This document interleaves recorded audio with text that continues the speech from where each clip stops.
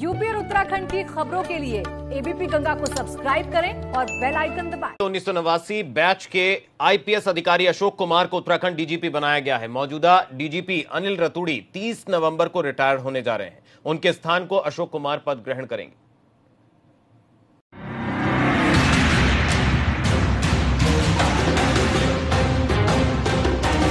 अशोक कुमार ने अभी तक उत्तराखंड के डीजीपी का कार्यभार संभाला भी नहीं है मगर उन्होंने अभी से ही अपने तेवर साफ़ कर दिए सबसे पहले डीजीपी की बदमाशों को दी गई ये चेतावनी सुनी मैं जो है अपना प्रयास करूँगा कि जो पुलिस है वो पीपल फ्रेंडली पुलिस हो पीपल ओरिएंटेड पुलिसिंग करे।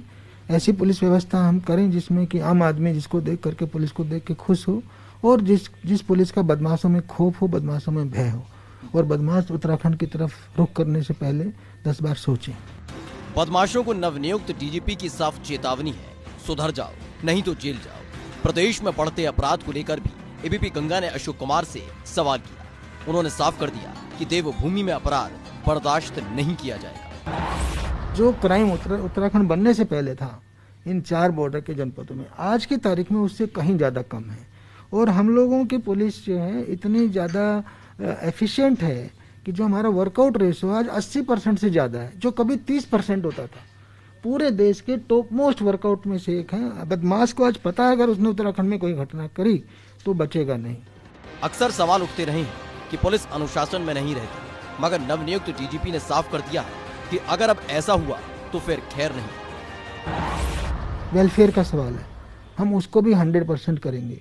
उनकी प्रमोशन को टाइमली देंगे। जो बेस्ट पॉसिबल उनकी वेलफेयर हो सकती है वो करेंगे।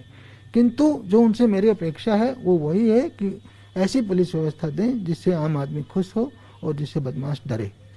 ये मेरा उनसे टारगेट है और दूसरा ये कि किसी भी हालत में पुलिस के डिसिप्लिन को खराब न करें। अगर कोई ऐसी हिम्मत करेगा तो उसे बख्शा नहीं जाएगा। अशोक कुमार उन्नीस सौ नवासी बैच के आईपीएस अधिकारी हैं। मौजूदा डीजीपी अनिल रतूड़ी 30 नवंबर को रिटायर हो रहे हैं। उनकी जगह अशोक कुमार पद ग्रहण करेंगे। अशोक कुमार अपनी कुशल नीति और व्यवहारिकता के लिए जाने जाते हैं। ऐसे में उम्मीद की जा रही है कि पुलिस का मुखिया बनने पर मित्र पुलिस की कार्यशैली में काफ़ी सुधार होगा। एबीपी गंगा के लिए देहरादून से विनोद कुमार की रिपोर्ट।